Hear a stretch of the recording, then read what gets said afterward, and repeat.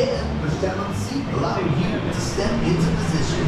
Once in place, hold on to the back harness, ensuring it's properly closed and constantly locked. First time in the front.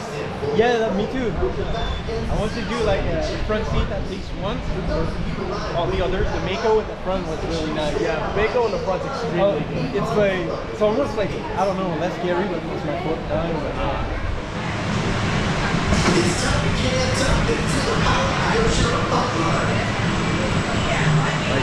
go, everyone. We're back in the front, and we got a friend.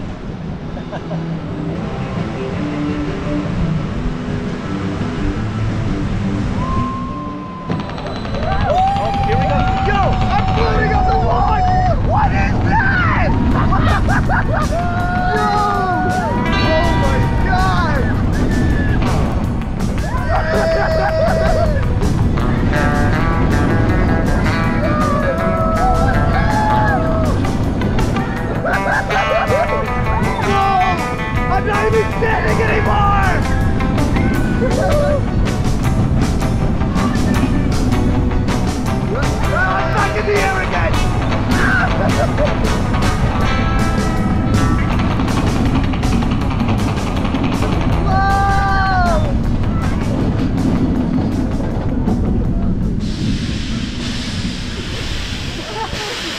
That was even better in the front. yes, actually. The second that it took off, my legs were off the ground. Yeah.